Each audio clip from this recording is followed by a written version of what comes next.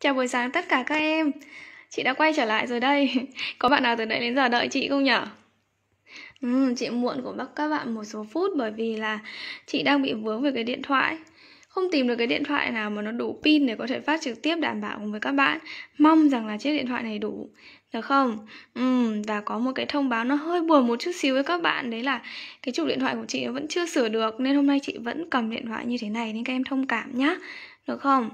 Ừ, ok xin chào các bạn. Đó đúng rồi. Chắc từ đấy đến giờ đợi chị hả? Ừ. Ok xin chào gia linh xin chào thùy dương. Chị vẫn ở đây mà được không? Ừ, chị vẫn ở đây cùng với các bạn nhá. Ok chào các em. Ừ đúng rồi đấy. Sáng nào mà cũng dậy sớm như thế này đợi chị thì tốt nhở? À ok đó đúng rồi. Rất đông các bạn đang bắt đầu vào xem rồi. Ừ à chị cảm ơn quỳnh anh nhá. Ừ chúc em buổi sáng vui vẻ. Hôm nay dậy muộn à? Rồi. Chị vẫn ở đây với các bạn mà. Rồi, ok nhá. Ừ, các em ơi, chị hiểu được rằng là nếu như ba ngày vừa rồi chúng mình chỉ tập trung vào học thuộc dẫn chứng để có cho mình cái nguyên liệu để liên hệ mở rộng. Nhưng cái thực tế đó là các bạn lại chưa biết làm thế nào để dẫn dắt, để liên hệ làm sao cho nó thật là tự nhiên này, làm sao cho nó thật phù hợp trong bài viết của mình. Vậy thì ngày hôm nay, chúng ta tạm thời sẽ không đi học thuộc một dẫn chứng nào cả, mà chúng ta sẽ tập trung vào việc đó là dẫn dắt làm sao để cái phần liên hệ mở rộng của chúng mình đạt hiệu quả nhá. Được không? Ừ ok rồi trong lúc các bạn vào thì các em lắng nghe một chút xíu về khái quát nội dung buổi học ngày hôm nay nhé. Hôm nay thì chúng ta sẽ không phải là đi học thuộc bất cứ một dẫn chứng nào nữa mà ba ngày vừa rồi chúng ta đã có trong tay ít nhất là 6 dẫn chứng rồi đúng không? Các em đã có trong tay ít nhất là 6 dẫn chứng tương ứng với mỗi bài rồi. Thì ngày hôm nay chúng ta sẽ làm thế nào để áp dụng được 6 dẫn chứng đấy nhá. Được không nào? Ừ, ok, làm thế nào để chúng ta áp dụng được 6 dẫn chứng đấy? Rồi, đó, thì ở đây chị muốn nhấn mạnh đó chính là buổi ngày hôm nay chúng ta sẽ học cái cách sử dụng nhá. Gọi là cái cách sử dụng đi cho dễ hiểu. Cái cách sử dụng. Những cái dẫn chứng mà mình có, được không? Ừ Chiều em luyện đề mà vẫn không thấy ổn phần áp dụng ý ạ. Bài tập 3 chưa em nộp được không? Ừ, các bạn vẫn khó trong việc sắp xếp thời gian nhỉ, đúng không? Ừ, rồi, vậy thì bây giờ nhá, tạm thời chúng mình chưa bàn đến những cái việc nào nó khác cái việc này mà chúng mình sẽ tập trung vào đây nhá. Bình thường khi mà các em muốn liên hệ mở rộng thì các em sẽ viết như thế nào?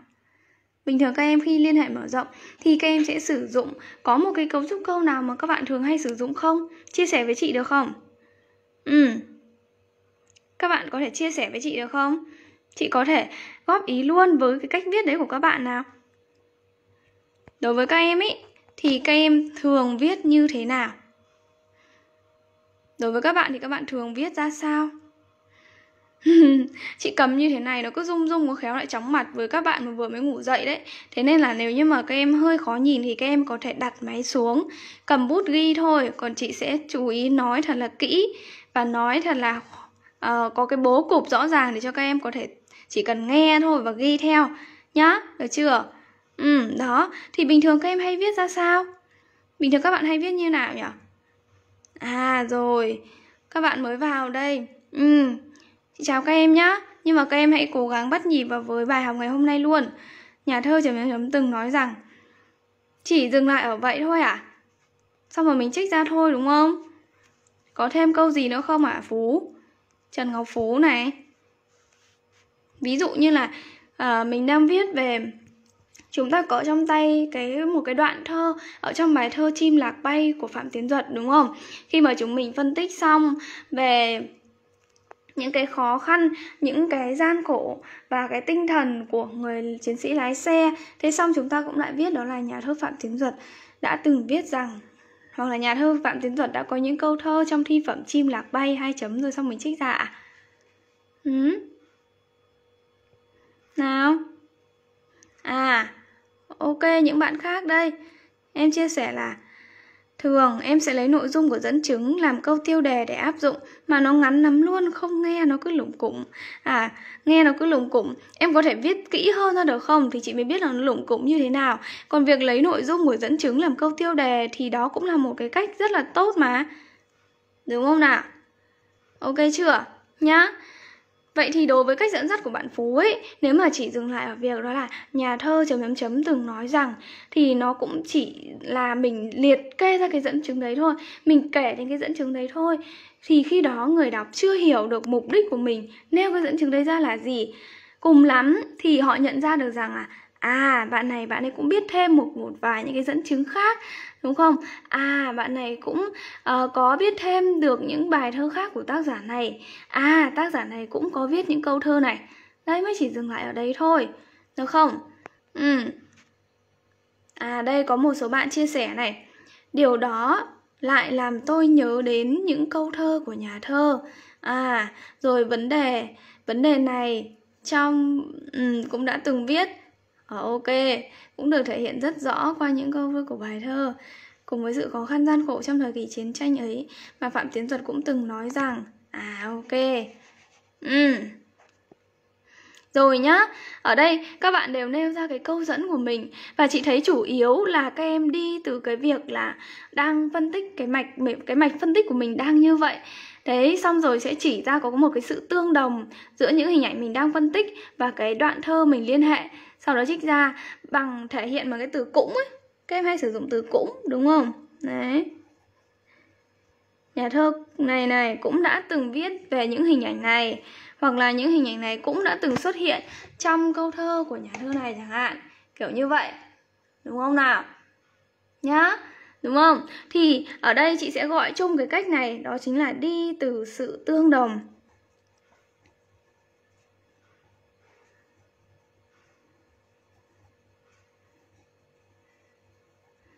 Được không?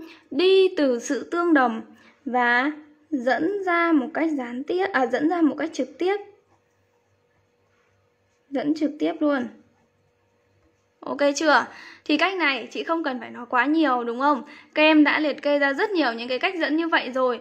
Nhưng nhưng nhá, được không? Thay vì việc là chúng mình chỉ dừng lại ở việc trích ra xong ấy Thì bên cạnh cái câu dẫn ban đầu Khi trích ra xong rồi các em hãy có thêm nhá Lưu ý này Lưu ý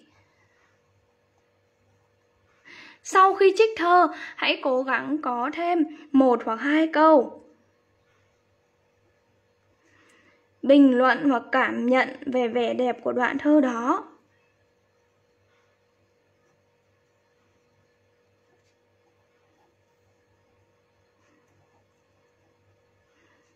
Được chưa? Nhá. Như vậy thì cái việc mình trích thơ ra ấy Nó sẽ không chỉ dừng lại ở việc chúng mình liệt kê nữa đâu Mà nó sẽ có thêm là cho thấy mình hiểu những câu thơ đấy như thế nào được không? Cho thấy mình hiểu những câu thơ đấy như thế nào Và sao nữa ạ? Và nó sẽ làm nổi bật thêm cái vấn đề chính của chúng mình Bởi vì sao? Liên hệ mở rộng Dù có liên hệ trời, liên hệ biển Thì cái mục đích của nó vẫn là để làm nổi bật và nhấn mạnh Vấn đề chính mà, đúng không? Đó, cho nên là các em lưu ý nhá. Bây giờ thay vì việc là mình chỉ dừng lại ở những cái câu trích thơ ra thôi Thì chúng ta hãy có thêm một đến hai câu bình luận và cảm nhận về đoạn thơ đó. Trong quá trình học thuộc dẫn chứng cùng với chúng mình đấy Chị đã giải thích khái quát những cái câu thơ mà chúng ta sử dụng để liên hệ rồi. Các em có hiểu cách viết đấy không? Ừ các bạn hiểu cách viết đấy không? Hoặc là bây giờ các em có thể bình luận luôn cái câu thơ các em hay muốn sử dụng khi mà chúng mình viết về bài thơ về từ lỗ xe không kính. Chị sẽ hướng dẫn các bạn một đến hai câu bình luận tương ứng với phần dẫn chứng đấy, được không nào? Ok chưa? Đấy, coi như là một phần tư vấn cho các bạn luôn đấy. Thì các em hãy tranh thủ nhá, các em nhanh chóng nhanh chóng bình luận luôn cái đoạn thơ đấy và chị sẽ hướng dẫn các bạn luôn này. Ừ. Đúng rồi, chị đang muốn lấy ví dụ đây. Nhưng ví dụ trực tiếp bằng những cái dẫn chứng mà các em hay sử dụng. Được không? Ừ. Đấy chưa nào? Ừ, ok, chị cũng đang muốn lấy ví dụ với các bạn đây. Nhưng mà cái ví dụ mà chị tự nghĩ ra ấy Thì nó không thiết thực bằng việc là các em cứ bình luận cái dẫn chứng mà em hay muốn sử dụng vào đây đi. Chị sẽ định hướng giúp các bạn làm sao để chúng ta viết cái câu bình luận Và cảm nhận ngắn gọn về đoạn thơ đấy nhá. Ok chưa? Ừ. Em bình luận luôn Bình luận luôn cái câu thơ đấy. Ví dụ như là em hay sử dụng câu à, Đường ra trận mùa này đẹp lắm Trường Sơn Đông nhớ Trường Sơn Tây chẳng hạn. Hoặc là câu thơ nào nào Các bạn hay sử dụng câu thơ nào? Ví dụ với câu thơ mà Đường ra trận mùa này đẹp lắm Trường Sơn Đông nhớ Trường Sơn Tây nhá. Được chưa? Thì với câu thơ đấy Thì có phải đó là khi mà chúng mình đang bình luận về À chúng mình đang phân tích Về cái tinh thần tuổi trẻ sôi nổi của những người lính Đúng không? Tinh thần tuổi trẻ sôi nổi Tình đồng chí đồng đội sâu sắc Thì chúng ta bắt đầu liên hệ đó chính là Trong thi phẩm Trường Sơn Đông, Trường Sơn Tây Nhà thơ Phạm Tiến Duật cũng đã cất tiếng thơ như sau hoặc là cũng đã cất tiếng thơ đầy sôi nổi hai chấm này à, đường ra trận mùa này đẹp lắm trường sơn đông nhớ trường sơn tây được chưa? Sau đó chúng mình bình bình luận nhé bình luận bằng một cái câu hỏi như thế này. Có thể nào chiến tranh lại đẹp tươi và tràn đầy lạc quan như thế? Đúng không? Có thể nào khi đối diện với chết chóc mà người ta lại có thể, mà những người lính, những người chiến sĩ trẻ tuổi lại có thể cảm nhận bằng hình ảnh đường ra trận mùa này đẹp lắm, đến như vậy? Ok không? Nhá, chúng mình có thể đặt ra những cái câu hỏi nhưng thực chất là chúng ta đang cảm nhận, đang bình luận về nó được không? Sau từ cái câu hỏi đấy, câu tiếp theo mình bắt đầu dẫn dắt này. À chỉ có thể là trong ngòi bút của phạm tiến duật thì tâm hồn của những người lính hoặc là tâm hồn sôi nổi, dạo dực trẻ trung của những người lính mới được khắc họa một cách chân thực và cảm phục như thế. Được không? Ok chưa? Xong rồi đấy, mình vừa có những cái câu bình luận về hai câu thơ đấy Mình vừa có một cái câu để tạo cái bản lề Mình dẫn dắt từ cái việc mình đang bình luận về hai câu thơ liên hệ Dẫn dắt sang cái ngòi bút của Phạm Tiến Duật Rồi xong mình lại dần dần quay trở về với đoạn thơ mà mình đang phân tích Được không nào? Ok chưa? Nhá mình muốn tập trung vào cái câu là đường ra trận mùa này đẹp lắm mà thì cái câu thơ đấy nó cho thấy được cái tinh thần lạc quan của những người lính.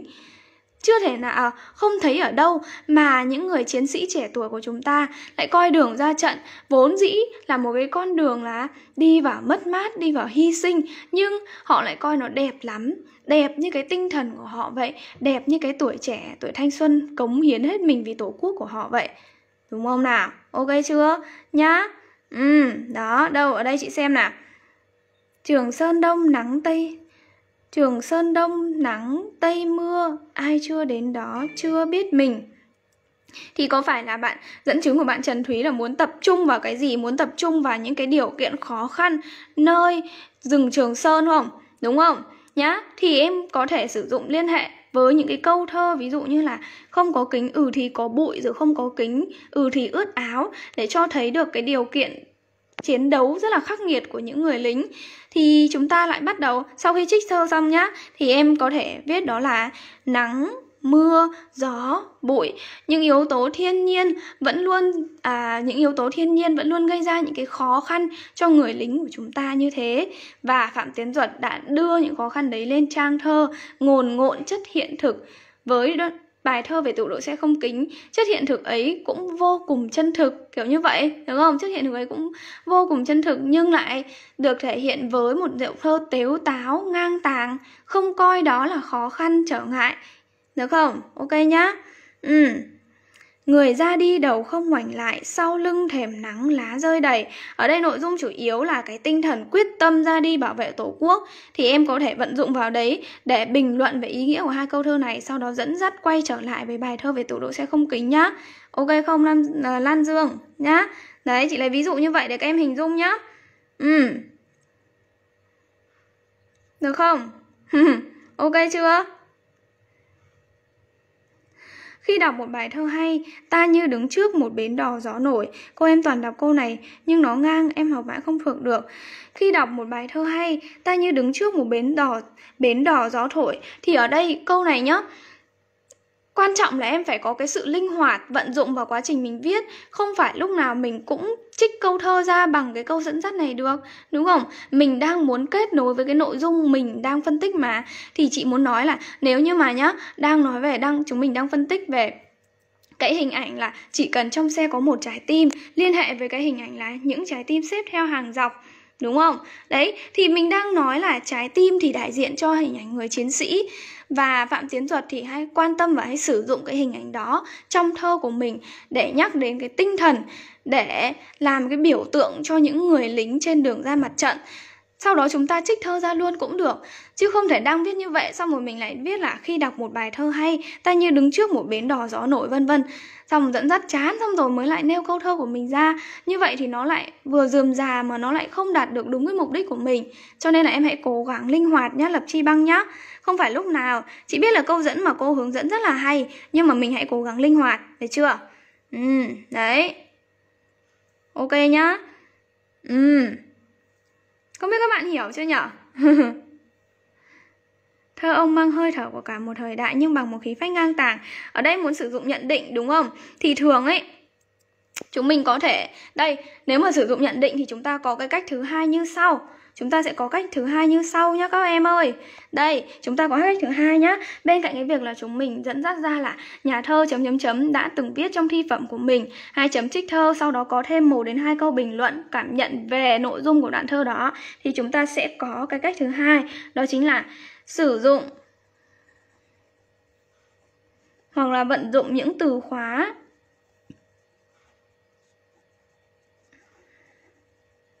trong dẫn chứng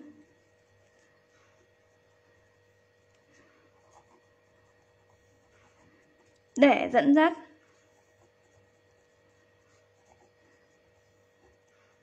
Được không? Cái cách này ý, thì nó có thể áp dụng cho cả nhận định.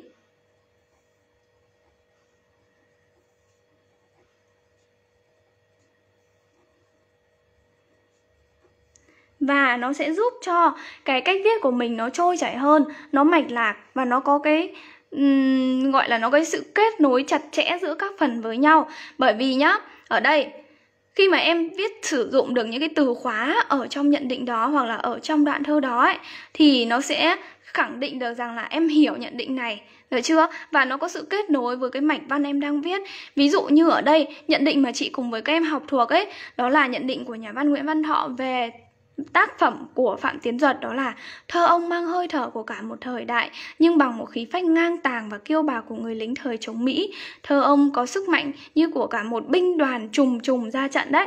Thì khi mà chúng mình đang phân tích về um, xem là không có kính không phải vì xe không có kính. Bom giật, bom rung, kính vỡ đi rồi. Ung dung buồng lái ta ngồi. Nhìn đất, nhìn trời, nhìn thẳng.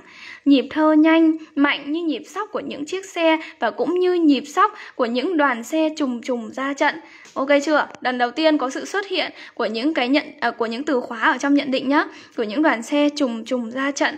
Phải chăng sức mạnh của thơ Phạm Tiến Duật nằm ở chỗ được không? Phải chăng sức mạnh của thơ Phạm Tiến Duật nằm ở chỗ đem hiện thực lên trang thơ nhưng bằng một cái tinh thần mạnh mẽ, ngang tàng, kiêu bạc, hai chấm hai chấm luôn nhá hai chấm mở ngoặc kép. Thơ ông mang hơi thở của cả một thời đại nhưng bằng một khí phách ngang tàng và kiêu bạc của người lính thời chống mỹ. Thơ ông có sức mạnh của cả một binh đoàn trùng trùng ra trận chấm đóng ngoặc kép mở ngoặc. Nhà thơ nguyễn văn thọ. Đấy xong đóng vào các em hiểu không? Có nghĩa là trước khi trích nhận định đấy ra, chúng ta sẽ sử dụng những cái từ khóa trong nhận định đó để tạo cái sự kết nối giữa phần chúng mình đang phân tích và phần liên hệ mở rộng. Ok chưa nào? Nhá. Được không? Hay là chúng ta muốn liên hệ với cả uh, những câu thơ như ở đây các em nêu này. Đây, như ở đây các em nêu nhá. Chị lại lấy tiếp tục ví dụ cho các bạn hình dung ra này. Xẻ dọc Trường Sơn đi cứu nước mà làm phơi phới dậy tương lai. À, ở đây là hai câu thơ của tác giả Tố Hữu đúng không? Cũng nói về một cái thế hệ, thế hệ trẻ mà quyết tâm xẻ dọc Trường Sơn đi cứu nước, hình ảnh theo vô cùng hào sảng và lãng mạn đúng không? Mà lòng phơi phới dậy tương lai thì chúng ta có thể dùng để liên hệ đó là uh, trong quá trình mà những người lính lái xe ấy, thực hiện nhiệm vụ của mình là đối diện với cả gió bụi, đối diện với cả mưa rừng nhưng họ vẫn quyết tâm vượt qua mọi khó khăn, vẫn quyết tâm để vì miền Nam phía trước vẫn quyết tâm với một tấm lòng phơi phới dậy tương lai hai chấm sẽ dọc Trường Sơn đi cứu nước mà lòng phơi phới dậy tương lai. Ok chưa? Nhá. Ừ, đấy, nó chỉ đơn giản như vậy thôi Mà chúng ta vừa thấy được cái sự tương đồng Ở trong cái việc mà chúng mình liên hệ mở rộng giữa hai đối tượng này Được không? Ok nhá Ừ, Đó Các em hiểu cái cách này chưa? Các bạn hiểu cái cách này chưa?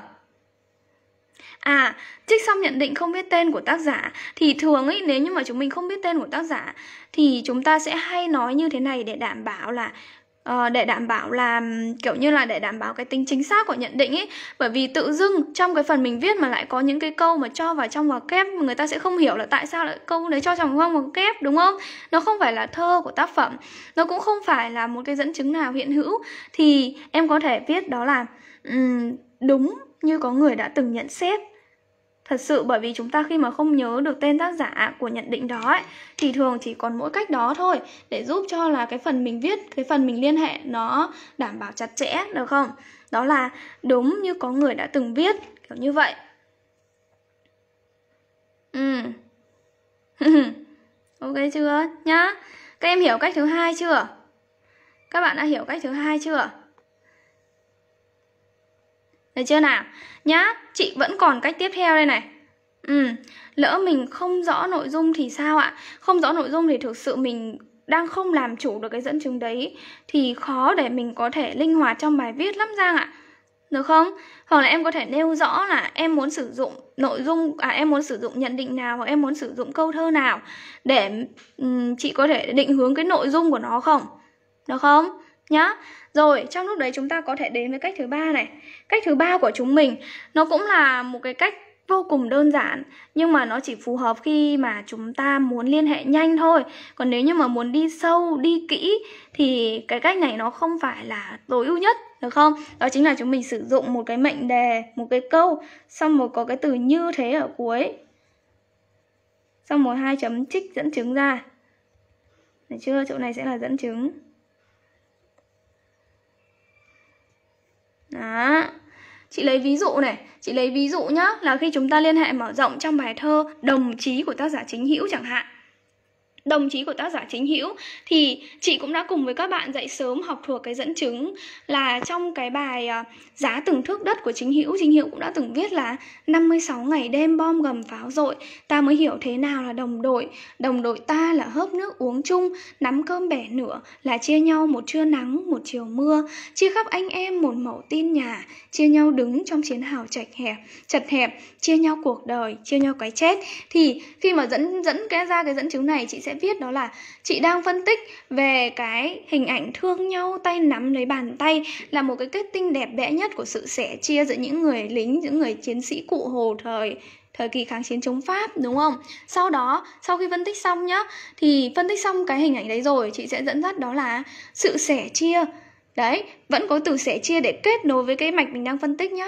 Sự sẻ chia giữa những người đồng chí, đồng đội vẫn luôn được chính hữu khắc họa một cách chân thành và cảm động như thế. Hai chấm trích cái dẫn chứng đấy ra. Ok không? Nhá. Hay là ừ, hay là ở đây À, ở đây là bạn muốn chị hướng dẫn cho câu là Tây tiến đoàn binh không mọc tóc, quân xanh màu lá giữ oai hùng. Liên hệ với những cái khó khăn, với cái bệnh sốt rét giường ở trong bài thơ đồng chí đúng không? Thì đấy, vẫn vận dụng tương tự nhá. Đó là những khó khăn, đúng không? Những khó khăn, gian khổ của người lính đã cùng nhau trải qua vẫn luôn được chính hữu à đâu vẫn luôn đi vào trong thơ với những gì thật xót xa nhưng cũng vô cùng hào hùng hai chấm. Và những cũng vô cùng hào hùng như thế hai chấm trích ra. Tây tiến đoàn binh không mọc tóc quân xanh màu lá giữ oai hùng nó mở ngoặc nhà thơ quang dũng ở đấy. Hiểu không nào? Nhá. Ok chưa? Ừ. Cô mình dạy nếu không nhớ đã từng uh, mang đại ý rằng Ừ, nếu như mà không nhớ toàn bộ cái dẫn chứng à không nhớ toàn bộ cái nhận định đấy không nhớ từng câu từng chữ thì đúng rồi. Đó chính là giống à, chúng ta có thể ghi là à, tôi vẫn còn nhớ có một nhận xét đại ý rằng hoặc là tôi vẫn còn nhớ có một nhà thơ nhận xét về phạm tiến duật đại ý rằng hai chấm trích ra hiểu không? Nhá. Thì hai chấm sau cái dấu hai chấm đấy chúng mình sẽ không để trong ngoặc kép mà chúng mình chỉ nói lại đại ý của cái nhận định đấy thôi. Hiểu không? Các em hiểu không? Ừ. Ok nhá. Được chưa nào? Nếu như mà thường ấy um, trích thơ, trích đúng từng dấu chấm, dấu phẩy thì các em cố gắng trích cái tác phẩm mà chúng mình học ấy trích cái tác phẩm chính của chúng ta, trích đúng như vậy, được không? Để thỉnh thoảng mình có vận dụng trong cái việc phân tích, ví dụ như là cái câu thơ thứ bảy ở trong bài thơ ấy, cái câu thơ đồng chí, thì kết thúc của nó còn có dấu chấm than nữa cơ, hiểu không? Đó, hoặc là trong bài thơ đoàn thuyền đánh cá thì trong cái câu là đêm thở hai chấm, sao lùa nước hạ long, thì khi đó chính cái dấu câu đấy nó cũng mang cái tác dụng nghệ thuật thì chúng ta cần phải trích đúng. Còn khi mà chúng mình phân à, chúng mình trích cái câu thơ nhận định liên hệ ra thì đúng tốt nhất vẫn là trích đúng hoàn toàn từng dấu chấm dấu phẩy. Nhưng nếu mà những cái dấu chấm dấu phẩy đó nó không ảnh hưởng quá nhiều về tác dụng nghệ thuật thì em có thể trích nó chưa hoàn toàn chính xác theo đúng với nguyên bản. Nhưng mà nếu như mà nó mang dụng ý nghệ thuật cụ thể thì phải trích đúng nhá. Ok chưa? Nhá. Được không nào? Ừ các em hiểu cái cách thứ ba này chưa? Các bạn hiểu cái cách thứ ba này chưa? Được không? Nhá, đó là cách thứ ba. Tiếp tục này, chúng mình còn một cái cách thứ tư nữa. Chúng mình còn một cách thứ tư nữa. Đó là chúng mình sẽ đi sâu hơn vào cái mối quan hệ giữa dẫn chứng mình dùng để liên hệ và cái đối tượng chính chúng ta đang phân tích bằng cái câu có cấu trúc đó là nếu như thì để cho thấy cái sự so sánh được không nào Đấy, ví dụ nhá, là chúng ta liên hệ với bài thơ đồng chí với những câu thơ của tác giả Thôi Hữu đi. Đó là Cuộc đời gió bụi pha xương máu, đói rét bao lần xé thịt ra, khuôn mặt đã lên màu bệnh tật, đâu còn tươi nữa những ngày qua.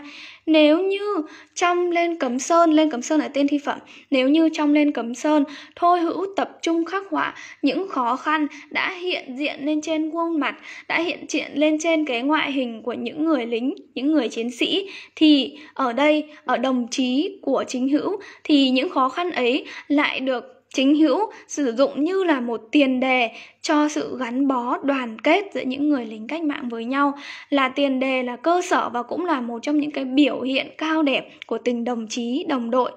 Hiểu không nào? Nhá.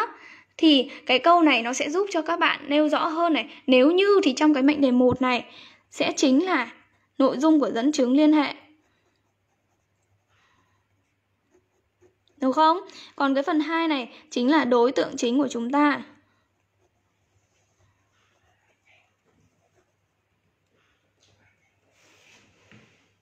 Được không nào? Chính là cái đối tượng chính của chúng ta. Ok chưa? Ừ.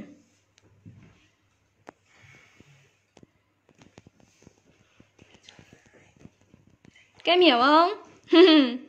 Các bạn hiểu không nào? Đó, các bạn hiểu không? Các bạn hiểu cái câu này không? Hay là các em thử áp dụng luôn đi Các bạn thử áp dụng luôn đi được không? Ừ, cái câu thơ chị vừa mới đọc là trong bài thơ Lên Cấm Sơn của tác giả Thôi Hữu các em nhé Cũng viết về những cái khó khăn trong thời kỳ kháng chiến chống Pháp Đó là Cuộc đời gió bụi pha xương máu, đói rét bao lần xé thịt ra, khuôn mặt đã lên màu bệnh tật, đâu còn tươi nữa những ngày qua.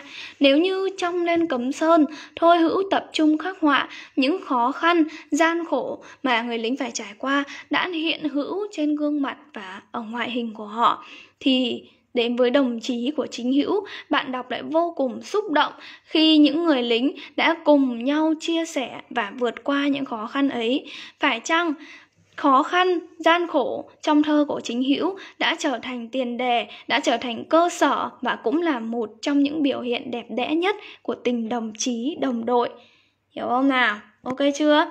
Đấy cũng là một cái cách để chúng mình dẫn dắt và cái cách này này nó rất sẽ nó sẽ rất tối ưu trong cái việc là chúng mình chỉ ra được phong cách của từng nhà thơ một, hiểu không? Phong cách của từng nhà thơ một nhá khi mà chúng mình liên hệ mở rộng ấy, thì cái nếu như này này, thì chúng ta, ở hai vế này chúng ta sẽ thấy được cái phong cách của từng nhà thơ một. Như vậy, cái câu này nó sẽ rất hữu hiệu khi mà chúng ta muốn đi thật là sâu và cho thấy cái sự am hiểu tường tận của mình về phong cách của các nhà thơ thể hiện trong tác phẩm của mình, các em nhé được không? Các bạn hiểu không nào? Các bạn có ok không? Thế cho nên là cái câu này nó chỉ áp dụng khi mà chúng mình lấy dẫn chứng là những tác phẩm của nhà thơ khác nhé nhà thơ khác. Của nhà thơ nhà văn khác. Hiểu chưa nào? Ok chưa? Đó. Ừ. Ví dụ nhá, sau này các em học bài thơ sang thu chẳng hạn Nếu như chúng ta sẽ có cái sự liên hệ so sánh dựa trên cái việc là Nếu như mà Xuân Diệu ấy Thì Ừ, nhận ra được cái dấu hiệu của mùa thu đến qua làn khói mây tan được không? Thì nhà thơ chính hữu của chúng ta, à, nhà thơ nhà thơ hữu thỉnh của chúng ta lại có những cái cảm nhận hết sức tinh tế khi mà biểu hiện đầu tiên cái dấu hiệu đầu tiên um, đem đến mùa thu chính là hương ổi bỗng nhận ra hương ổi phả vào trong gió xe đấy để chúng ta thấy được là cái một cái hồn thơ vô cùng mộc mạc giản dị của nhà thơ hữu thỉnh hiểu không? Các bạn hiểu không nào? Nhá đó. Ừ. Được không? Các em có hiểu ý này không? Chúng mình có bốn cái cách dẫn dắt như thế này. Các bạn đã nắm được chưa? Chúng mình có bốn cái cách dẫn dắt như thế này. Các em đã nắm được chưa? Đó. Nhớ ghi lại nhá. Nhớ ghi lại và khi mà chúng mình bí không biết dẫn dắt ra sao Thì hãy lựa chọn một trong bốn cái cách này Cái cách nào mà em cảm thấy nó phù hợp nhất Với bài viết của mình các bạn nhé Ừ, chị hướng dẫn lại đi ạ, à. em chưa hiểu Đây, em chưa hiểu ý nào Em chưa hiểu ý cuối này đúng không? Có nghĩa là chúng mình sẽ sử dụng cái cấu trúc câu nếu như chấm chấm chấm thì thì ở đây cái cấu trúc này nó sẽ đưa ra cho chúng ta hai ý.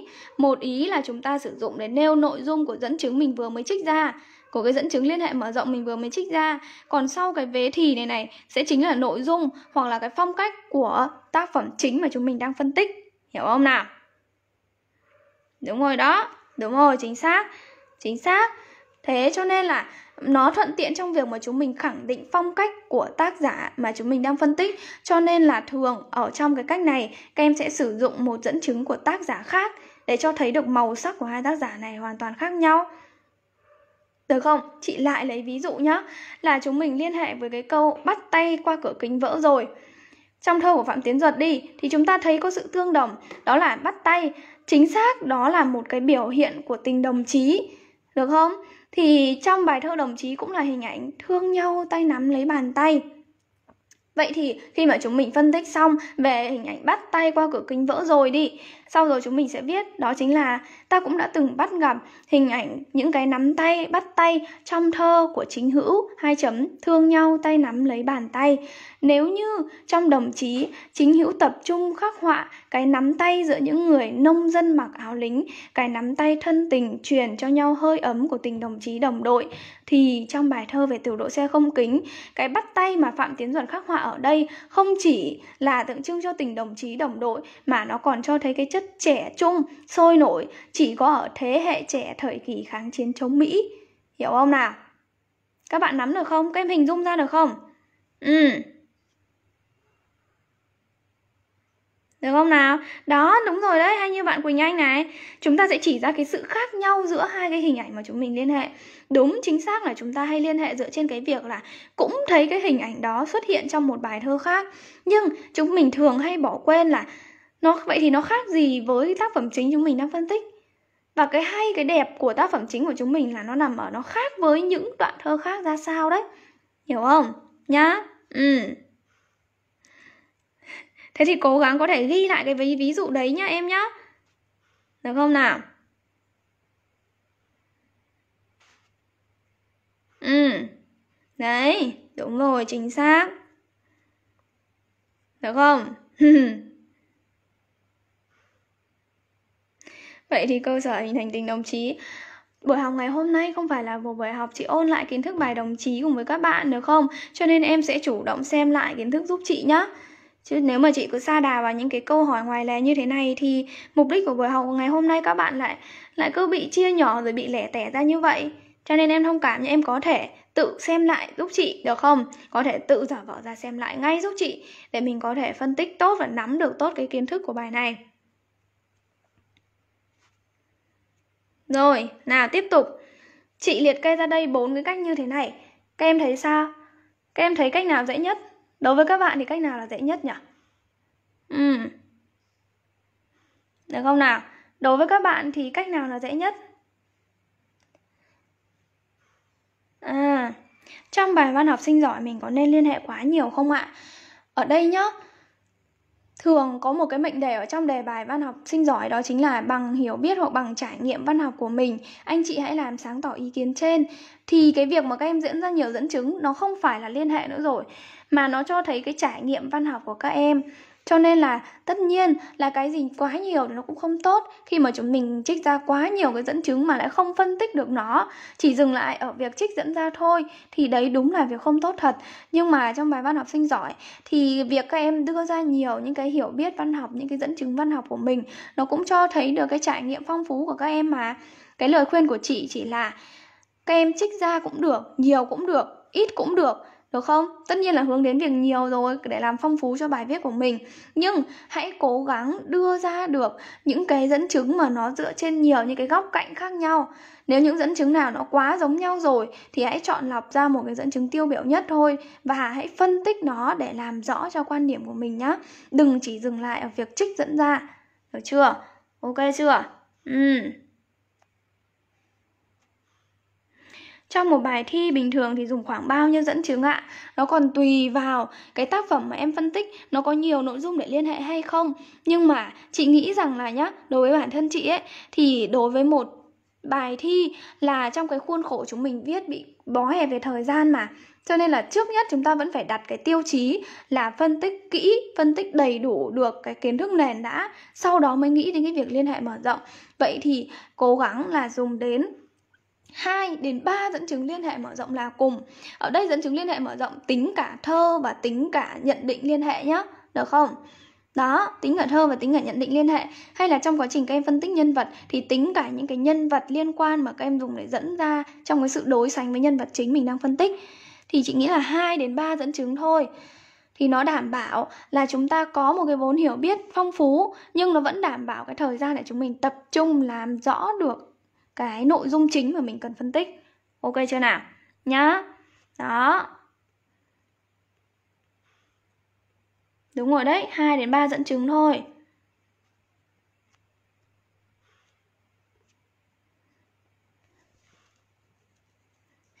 Một dẫn chứng liên hệ? Không sao. Thậm chí là bài của chúng mình không có dẫn chứng liên hệ. Thì cũng không ai là, gọi là, trừ điểm quá gắt gao cái phần đấy, đúng không? Cái phần mà liên hệ mở rộng thì thường nó sẽ được tính vào cái điểm sáng tạo cho các bạn. Kiểu như vậy, nhá. Đấy, cho nên là chị đâu bắt buộc các em là phải liên hệ rồi mở rộng được trong bài viết của mình đâu. Khi mà kiến thức nền còn chưa phân tích kỹ, khi mà chưa cả khai thác hết được những cái nội dung trong tác phẩm chính mà cứ chăm chăm nghĩ đến liên hệ mở rộng thì cái điều đó làm sao được? Điều đó là hoàn toàn rất là bất lợi cho bài viết của mình các em nhé chị đã nói rồi, đó chính là trước khi nghĩ đến liên hệ mở rộng thì phải làm sao làm rõ được, phân tích kỹ được, chi tiết được, hay nhất có thể về cái kiến thức nền của tác phẩm chính đã. Ok chưa? Còn riêng đối với các bạn học sinh giỏi nhá, thì Đấy, nếu như mà trong cái mệnh đề hỏi của đề ấy, là bằng trải nghiệm văn học của em thì các em hoàn toàn có sự tự do và linh hoạt trong cái quá trình chúng mình đưa dẫn chứng ra phân tích. Còn nếu như mà người ta yêu cầu là bằng uh, cái sự nghiệp sáng tác của một tác giả cụ thể hoặc bằng những tác phẩm trong một phong trào nào đó Đúng không? Ví dụ như là bằng những tác phẩm trong phong trào thơ mới Hoặc là bằng những cái tác phẩm văn xuôi trong cái trào lưu hiện thực phê phán Để chứng minh một nhận định nào đấy Thì bắt buộc rồi là các em phải lấy dẫn chứng trong những cái trào lưu mà người ta giới hạn đấy là chính. Bên cạnh đó thì cũng có cái sự ờ, mở rộng để đối sánh, để làm rõ hơn đối tượng chính của mình. Nhưng mà quan trọng là chúng mình vẫn phải bám sát vào đề nhá. Đấy, cho nên là chị không có một cái số lượng nào cố định Một cái lời khuyên nào tốt nhất cho các bạn về số lượng dẫn chứng trong bài thi học sinh giỏi cả nên là các em cố gắng linh hoạt nhá Được chưa? Ok chưa? Vậy thì với bốn cách này Với bốn cách như thế này Các bạn đã nắm được chưa nhỉ? Lỡ như đang viết thì quên dẫn chứng thì mình nên xử lý sao ạ? Đừng để cái việc là đang viết mình quên Thường nhá, khi mà các trong quá trình các em viết ý, cái dẫn chứng mức liên hệ mở rộng nó sẽ đột nhiên xuất hiện trong đầu mình. Vậy thì lúc đấy nháp để làm gì? Chúng mình phải ghi lại ngay ra nháp để đảm bảo là nhớ đến đâu viết luôn được đến đấy đi. Chứ không phải là à thôi được rồi, ok, đấy dẫn chứng đấy, thế để tẹo nữa, mình viết. Thế xong rồi đến lúc tẹo nữa, đây là quên luôn. Thì các em, khi mà nhớ được, khi mà đột nhiên nhớ được luôn ấy, thì hãy ghi luôn ra nháp nhá. Các em ghi luôn ra nháp vào chị. Để chúng mình có đấy làm cái dẫn chứng và luôn luôn nó xuất hiện trước mặt mình để mình nhớ là à đây, xong rồi phải liên hệ với câu thơ này cho hay đây này. Kiểu như thế. Được chưa? Để làm sao không quên được cái việc là à để không quên được cái dẫn chứng khi mà mình đang viết ý, thì phải chuẩn bị trước. Phải nắm được chắc cái dẫn chứng đấy ra trước đã, sau rồi mới chắc chắn viết vào bài của mình. Chứ không phải là cứ dẫn dắt xong rồi, mình nhớ mang máng xong rồi mình cứ dẫn dắt xong rồi để cách ra đấy xong điền sau. Chắc chắn là các em quên, thật sự, chắc chắn là các em quên đấy. Cho nên là mình sẽ không để trong cái thế bị động như thế nhá. Mình phải nắm được dẫn chứng đấy đã, được chưa? Phải chắc chắn cái dẫn chứng đấy mình thuộc đã ghi lại ra nháp đã, ghi lại toàn bộ nó ra nháp đã, rồi mình mới viết vào bài viết của mình. Thì để tránh được cái việc mình quên, đấy, chúng mình không thể là đang viết rồi quên được, chỉ có thể là chúng mình không nhớ ra được, chúng mình không viết vào. Nhá, ok chưa? Đó, rồi, nào Cùng nhìn lại với chị bốn cái cách mà chúng mình dùng để liên hệ mở rộng nhé. Thứ nhất là dùng một cái câu mà trong đấy có sử dụng từ cũng để chỉ ra dưới sự tương đồng và đây là cái cách dẫn dắt trực tiếp. Nhưng lưu ý là bên cạnh việc dẫn ra thôi thì các em hãy có thêm một đến hai câu bình luận và cảm nhận về nội dung đoạn thơ đó sau đó là lại quay trở lại với cái đoạn thơ mình đang phân tích. Cách thứ hai là chúng mình sẽ sử dụng những từ khóa có trong chính dẫn chứng để dẫn dắt, để đảm bảo sự kết nối và chặt chẽ giữa cái mạch mình đang phân tích và dẫn chứng liên hệ mở rộng. Cách thứ ba là chúng ta sử dụng cấu trúc câu mà ở cuối có cái từ như thế. Nó sẽ là tạo ra một cái âm hưởng khá là hay ho cho cái phần mình đang viết, được không? Và cách thứ tư là dùng cấu trúc câu nếu như chấm chấm chấm thì chấm chấm chấm để cho thấy được cái sự so sánh cái điểm đặc trưng trong từng ngòi bút một. Được không nào? Ừ. ôi, em góp ý là chị sử dụng từ nhá hơi nhiều để dẫn đến lạm dụng à? Chị đâu, chị, cái mục đích của chị không phải lạm dụng từ nhá đâu, mà chị chỉ muốn là các em tương tác nhiều hơn với chị thì chị mới biết được là các em đang ở cái mức hiểu như thế nào. Được không? Ừ. Nhá, nguyên nhá. nhá, nguyên nhá. Được không nào đó, chị hay phải dùng cái từ đó để có thể hỏi các bạn ấy. Để kêu gọi các bạn tương tác thì chị mới biết được, chứ không thể là chị đọc nói xong rồi các em im lặng và chị ghi. Như vậy thì rất khó để chị biết được là các bạn có hiểu được hay không. Đó, chị dùng hơi nhiều từ nhá này, từ đó và từ được không để hỏi các bạn đấy. Cho nên là em có thể quen dần với việc đấy được không?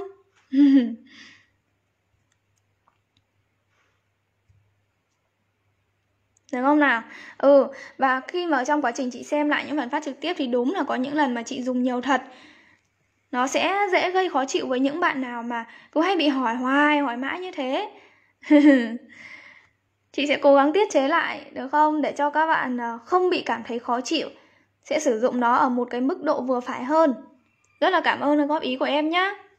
Đấy, chị lại sử dụng. Rồi, ok. Chị sẽ cố gắng. Ừ.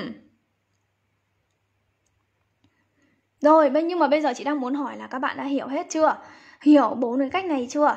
Và các bạn thấy cái cách nào là mình dễ sử dụng nhất? Cách nào để mình dễ sử dụng nhất nhỉ?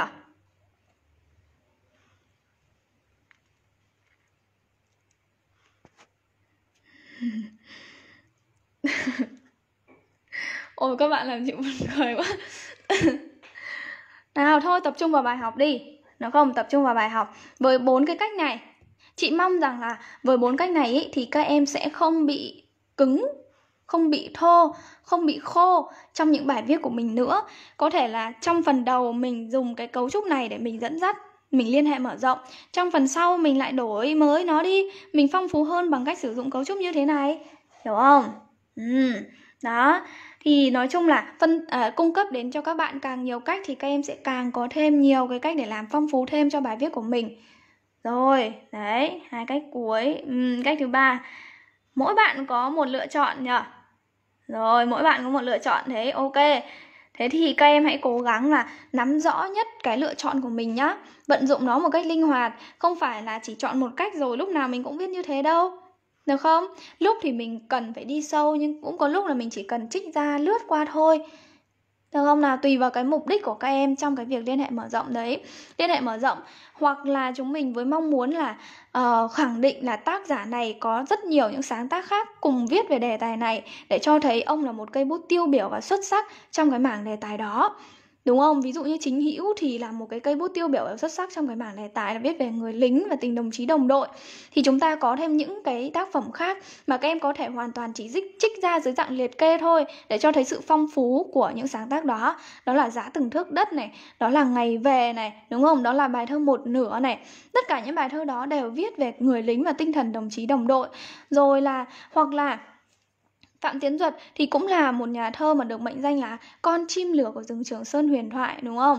Là uh, cây xăng lẻ của rừng Trường Sơn. Đấy, thì chúng ta thấy được rằng là ông sáng tác rất nhiều về rừng Trường Sơn. Ông cũng đã khẳng định là thơ tôi và cả cuộc đời tôi chỉ gắn bó với Trường Sơn thôi mà. Đấy, thì chúng ta có thể dẫn ra rất nhiều những tác phẩm khác mà ông viết liên quan đến Trường Sơn, Trường Sơn Đông, Trường Sơn Tây này. Vậy thì khi đó chúng ta chỉ cần liệt kê ra thôi là người ta đã đủ hiểu cái mục đích của mình rồi. Là tác giả này sáng tác rất nhiều, hiểu không? Rất nhiều và trở thành một cây bút tiêu biểu trong bảng đề tài này. Chứ không phải là lúc nào chúng mình cũng cần đi sâu, được không? Nhá, rồi. Ừ ok. Rồi nhá rồi các bạn ơi, vậy là ngày hôm nay thì chị không cùng với các bạn học thuộc bất cứ một dẫn chứng cụ thể nào Mà ngày hôm nay chị tập trung vào cái phương pháp để giúp cho các bạn làm sao vận dụng tốt nhất cái dẫn chứng mà mình có. Vậy thì hãy giúp chị chúng mình luyện tập cái cách đưa những cái, những cái gì mà chúng mình được học vào trong cái thử thách ngày 4 nhá. Thử thách ngày 4 nào. Các bạn ghi lại thử thách ngày 4 giúp chị này. Chúng ta vẫn sẽ là vận dụng những dẫn chứng mà mình có để viết một đoạn văn, được không? Viết một đoạn văn phân tích những câu thơ mà em cảm thấy ấn tượng trong bài thơ bài thơ về tiểu đội xe không kính. Trong đó có sử dụng dẫn chứng liên hệ mở rộng. Rất là thoáng cho các bạn luôn. Không ép các em là phải sử dụng dẫn chứng nào, cũng không bắt buộc các bạn phải sử dụng cách dẫn dắt nào. Nhưng mà hãy cố gắng vận dụng tốt những gì mình được học nhé được không? Đó là viết đoạn văn phân tích một Đoạn thơ mà em ấn tượng nhất trong bài thơ bài thơ về tiểu độ xe không kính của tác giả Phạm Tiến Duật Trong đó có sử dụng dẫn chứng liên hệ mở rộng Chỉ cần thế thôi, các em sử dụng nhận định cũng được, các em sử dụng thơ liên hệ mở rộng cũng được Được không? Rồi, nhá, các bạn nắm được thử thách ngày 4 chưa? Các bạn nắm được thử thách ngày 4 chưa? Chắc là chị phải chuẩn bị một cái bảng vàng thôi Ít nhất là để điểm danh những bạn nào tham gia đầy đủ các thử thách chứ đăng bài nộp thử thách lên mà chả thấy bạn nào vào làm cả. Buồn thật sự luôn đấy không hiểu là do các bạn không hiểu, không muốn làm, hay là do các em còn vướng bận rất là nhiều những cái công việc khác. Thì có thể chia sẻ cùng với chị, nhá, được chưa? Nhưng mà hãy cố gắng là chúng mình học xong luôn thì phải áp dụng luôn thì mới nhớ được. Nên là mình sẽ đặt cái tinh thần là à, có thử thách là mình sẽ làm luôn. Các bạn nhé rồi, và ngày hôm nay thì đây sẽ chính là cái phương pháp kết thúc cho những dẫn chứng liên hệ mở rộng trong nghị luận văn học. Ngày mai chúng ta sẽ bước sang những dẫn chứng liên hệ mở rộng ở trong nghị luận xã hội các bạn nhé. Ok chưa? Đó, thì hãy chuẩn bị thật một cái tinh thần vẫn học tập sôi nổi như thế này để cùng với chị học tập vào ngày mai nhé. Còn bây giờ thì cũng đã muộn rồi, có lẽ các bạn đang phải chuẩn bị uh, hành trang, chuẩn bị sách vở quần áo để mình đến trường học rồi đúng không? Thì bây giờ chúng mình sẽ kết thúc buổi học này tại đây. Chúc các em sẽ lại có một ngày học tập hiệu quả. Chúc các em sẽ luôn luôn đạt điểm cao với những cái môn học mà mình kỳ vọng nhiều này, sẽ luôn luôn đạt những cái số điểm như mình mong muốn các bạn nhé. Còn chị thì vẫn ở đây, đồng hành cùng với những cái khó khăn và thắc mắc của các em. Đừng ngại ngần chia sẻ cùng với chị nhé. Rồi, ok, cảm ơn các em rất là nhiều. cảm ơn các bạn rất là nhiều và hẹn gặp lại các em trong buổi học ngày sáng mai nhé. Nếu mà chị có muộn một vài một vài phút thì hãy cứ bình tĩnh. Chị sẽ lên sớm nhất với các bạn và đúng giờ nhất có thể. Được không nào? Nó có những cái sự cố mà chị không thể nào nắm bắt trước được nên là các em hết sức thông cảm với chị được không? Rồi, ok. Cảm ơn các em rất là nhiều và tạm biệt các em. Hẹn gặp lại các em vào buổi học ngày mai nhé. Bye bye.